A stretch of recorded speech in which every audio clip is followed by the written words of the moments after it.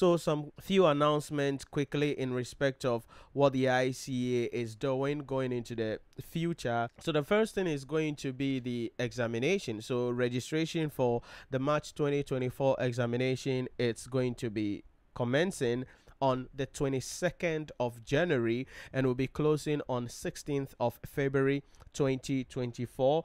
As always, we have three centers in Accra. So ICAG College, the Zenith College, and then the UPS the Accra College of Education near UPSA. So these are the three centers in Accra.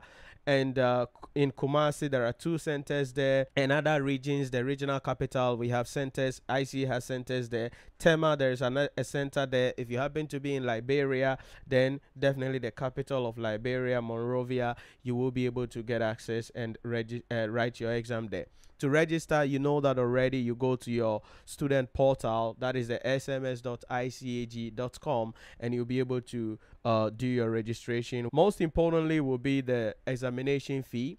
Level 1 bump up a little bit to 86, level 2 505, level 3 530 Ghana Cedi per paper.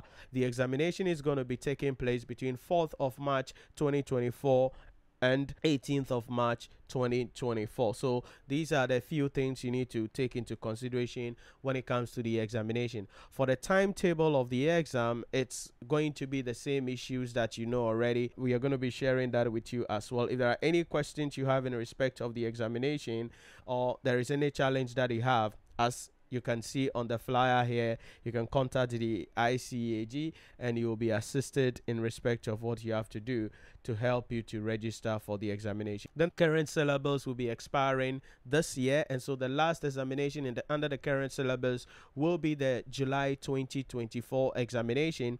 So the new syllabus which is going to be effective. The first exam of that is going to be in November 2024. Will be launched on Monday, 29th of July 2024, 2 p.m. UPSA. So it tells you also that in case you are still on the uh, on the edge trying to delay, trying to wait, trying to wait.